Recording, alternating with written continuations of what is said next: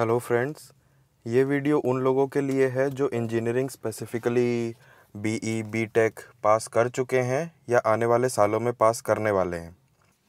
आप लोग खासकर इस वीडियो को बहुत ध्यान से अंत तक देखिएगा। आप लोगों ने डिसाइड कर लिया है या अपने फ्रेंड्स से डिस्कस कर रहे होंगे कि इंजीनियरिंग ख़त्म करने के बाद क्या करना है। जिन लोगों ने डिसाइड कर लिया है आई एम श्योर उनका डिसीज़न ये तीन पॉइंट्स पे घूम रहा होगा। आईटी कंपनी में जॉब करनी है फैमिली बिज़नेस ज्वाइन करना है, या कोई स्टार्टअप करना है। आई एम श्योर इस समय इंडिया में 80 टू 85 परसेंट लोग आईटी कंपनी चूज़ करते हैं।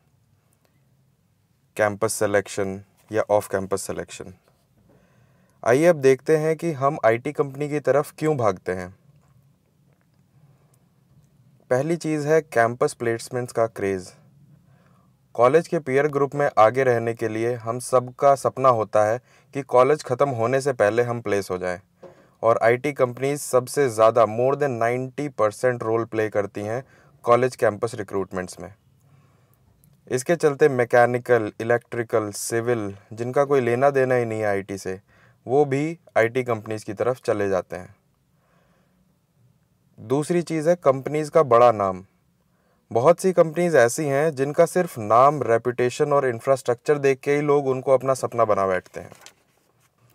आइए अब आपको बताते हैं कि ये आईटी कंपनीज़ काम कैसे करती हैं। और ऐसा क्या है कि ये computer science IT mechanical electrical सबको बल्क में हायर कर लेती हैं। तो आइए यहाँ पे देखते हैं कि ये आईटी कंपनीज़ काम क्या करती हैं, फिर देखते हैं काम कैसे करती हैं। ये आईटी कंपनीज़ कुछ इस तरह की सर्विसेज़ प्रोवाइड करती हैं, जैसे कि सॉफ्टवेयर डेवलपमेंट सर्विस सपोर्ट या कंसल्टेंट सर्विसेज़ अब देखिए, ये सर्विसेज़ ये किन के लिए प्रोवाइड करवाती हैं? जिन क्लाइंट्स के लिए ये सर्विस प्रोवाइड करवाती हैं मोर देन फिफ्टी परसेंट वो क्लाइंट्स फॉरेन के होते हैं। हार्डली कोई इंडियन होता है।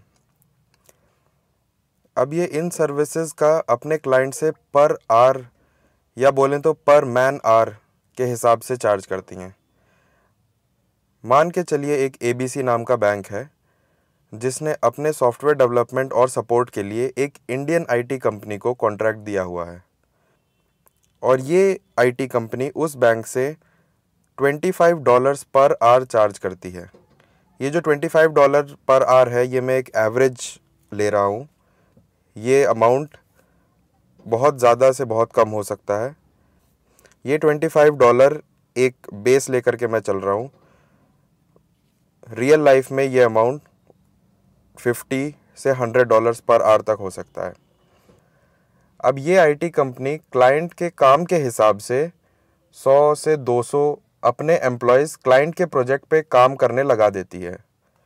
अब थोड़ा कैलकुलेशन देखते हैं। एक एम्प्लॉय जो कि हो गए आप लोग। एट आवर्स काम करते हो generally twenty five dollars per hour into eight hours ये आता है two hundred dollars per day Saturday Sunday हटा के लगभग बाईस वर्किंग डेज़ होते हैं एक महीने में। Two hundred dollars into twenty two days ये आपका forty four hundred dollars per month बनता है।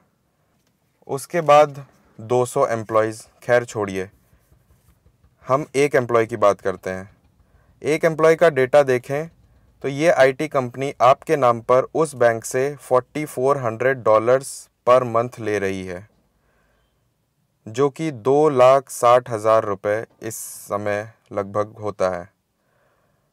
और ये कंपनी आपको देती है बीस से तीस हज़ार एक महीने का। पच्चीस डॉलर पर आर जो मैंने बताया, ये एक लोअर एंड डेजिग्नेशन का है।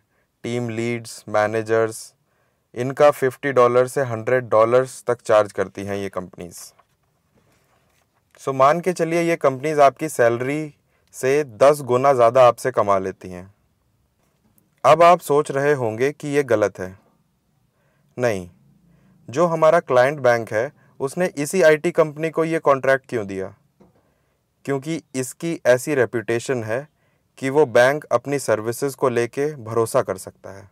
अपनी इन्फॉर्मेशन को लेके भरोसा कर सकता है। तो दिक्कत कहाँ पर है? ध्यान से सुनिएगा। दिक्कत यहाँ आती है कि जब आप ऐसे बड़े प्रोजेक्ट में काम करते हो, तब आपको ये पता चलता है कि इतने बड़े प्रोजेक्ट की टीम में जो भी काम है, वो पाँच नहीं, दस नहीं, दो सौ से तीन सौ लोगों की टीम में डिवाइडेड रहता है। जो कि उसी आईटी कंपनी के एम्प्लॉयज़ हैं। और आपको किसी एक छोटी टेक्नोलॉजी का काम दिया हुआ है। इससे आपके एफ़र्ट एक ही स्कोप में लिमिट हो जाते हैं। आपके एफ़र्ट में कोई स्केलेबिलिटी नहीं रहती। यानी आपको अपनी नॉलेज बढ़ाने में सालों लग जाते हैं। चार से पाँच साल के बाद आपको ये रियलाइज़ होता है कि आप फंस चुके हैं।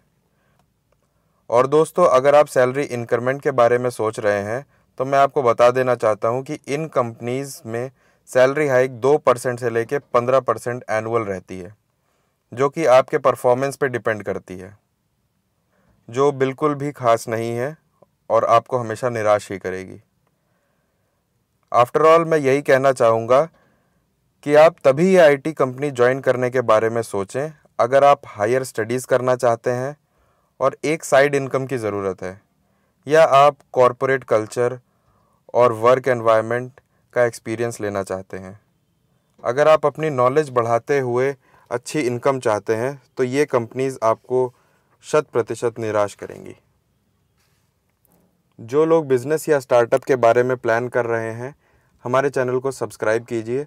जल्दी ही बिज़नेस और स्टार्टअप के बारे में हमारी वीडियो आने वाली है। और कोई सुझाव हो तो नीचे कमेंट सेक्शन में बताइए।